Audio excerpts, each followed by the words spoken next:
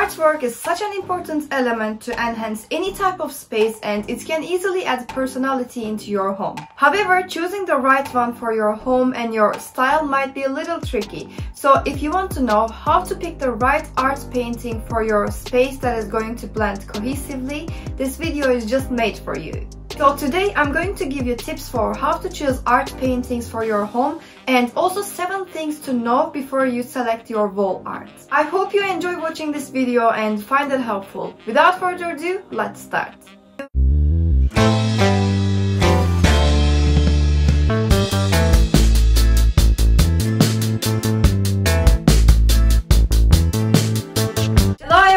Welcome to my channel. I hope you are all doing well. My name is Selen and I am architect. On this channel, I do videos about interior design to help you use your space wisely and also give you a perspective from an architect's eye.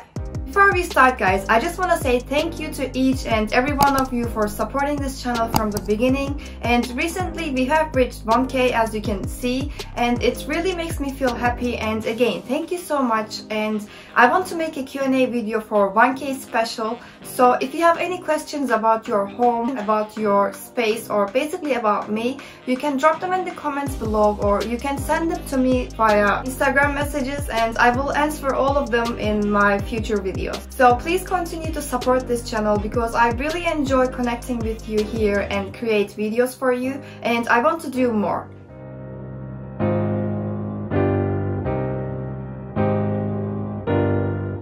I think this is one of the most important things that you should think about when you choose art paint for your space.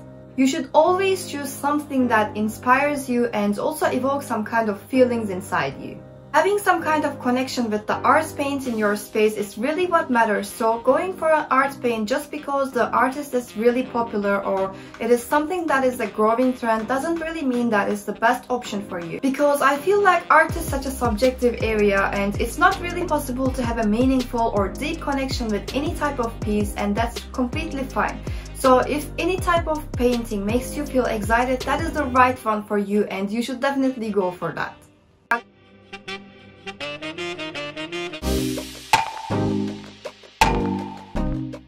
When you choose your art paint, you should always consider the function of your room because this can help this art paint to blend smoothly within your space. For example, if you want to choose an art paint for your bedroom or even bathroom, you should always go for something that makes you feel calm and relaxed rather than the ones that can drag you into chaos. And also, instead of creating a gallery wall, I would suggest you to go for one piece in your bedroom. And of course, this is my personal opinion. And if gallery wall is something that makes you feel happy, you can definitely go for that as long as you put all the paintings together in a cohesive way that is not going to make your eyes look tired or make you feel chaotic.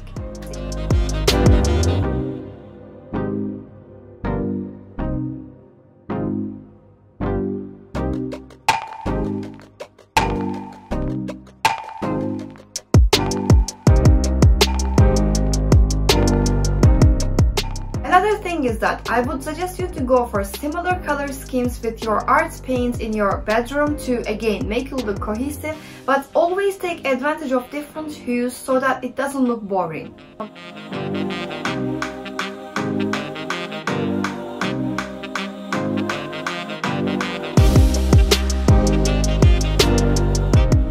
On the other hand, if you want to choose an art paint for your living room, you have much more flexibility because it is a much more chilled place. So if you want to make a statement with your art paint, you can go for a contrasting color or contrasting style and that will just look perfect in your space. So at the end of the day, it all depends on what kind of approach do you want to take about art paintings, but always remember that the function of the room is really important when you decide your art paintings if you want to create a nicely and also intentionally designed spaces.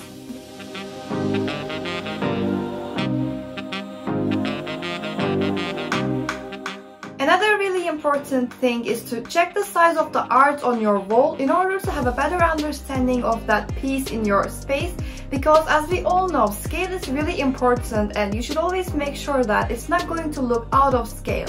Now, for you to do that, you can basically check the size of the art painting online and you can create a basic surface with tape with the same measurements to see if it's going to give you the vibe that you're looking for in your space. And also don't forget to hang your art painting around your eye level. So let's say you are going to hang it on your entryway, which is a place that you are mostly stand. It's okay to hang them higher. But if you want to hang them in your living room where you are mostly going to sit and chill, it's better to hang them lower. So always make sure to check that one because it can easily change how you perceive the art painting in your space.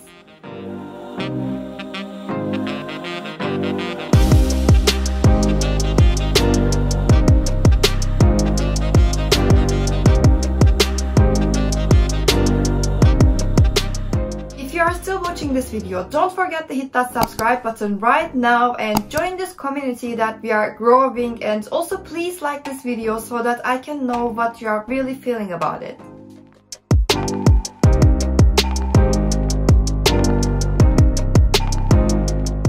This one is very important guys. You should always research the artist and choose a piece that you can relate the story behind it. Every artwork is unique and they always have a story behind it and it's great to understand why the artist expressed himself or herself in that painting in that way and is it something that you can relate on a deeper level. I know this might be a little bit tiring compared to going to a shop and choosing a random paint that you kind of like but trust me if you do it this way this will add so much more personality into your space. You can also search your local artists and support their work as long as you can connect with their paintings because I feel like this is also a time that they kind of need financial support so I feel like it could be a great exchange.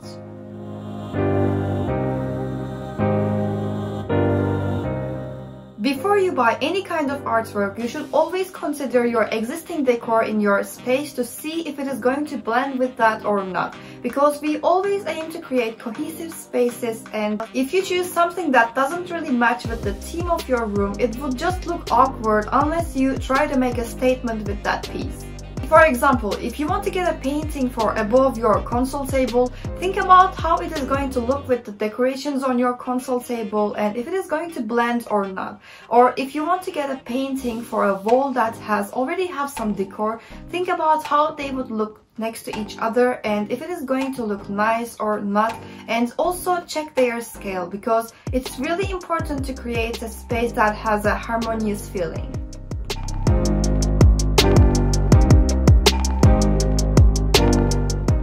When you buy paintings for your space, I would advise you to invest in good quality pieces. And the reason is that artwork is not something that we have to change on a regular basis and we most of the time want to use it in the long term. Plus, no one wants to get a piece that they fall in love and after a few weeks it's going to fade or cause another problems. So always make your money and invest in good quality pieces that you can use for the long term. And trust me, you can see it as an investment because it's really worth the money.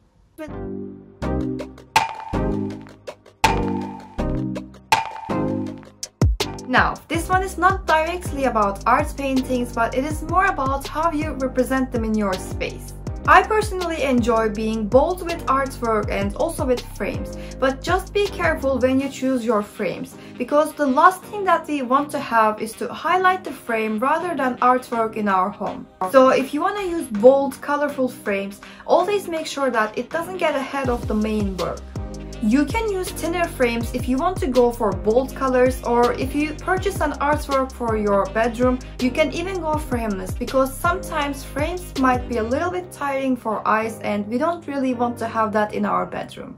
Do you have a favorite artist and what type of paintings do you enjoy using in your home? Drop it in the comments below and let me know. But overall, I hope you like this video and find it helpful. If you do so, don't forget to hit that subscribe button right now and tap that notification bell to get notified every time I release a new video. I offer architectural and interior design services on my website, so if you need any kind of help with your space, you can contact me from there and I have various interior design packages for on-site projects in London and also online design packages for international clients for easy and quick design. You can also follow me on Instagram at Selen Architectural Design for daily inspirations and again, don't forget that I want to make a Q&A video so if you have any questions about your space or basically anything else, please send them to me on my Instagram or you can also drop them in the comments below on this video. Thank you so much for watching and please stay safe until I see you next time. Take care. Bye bye.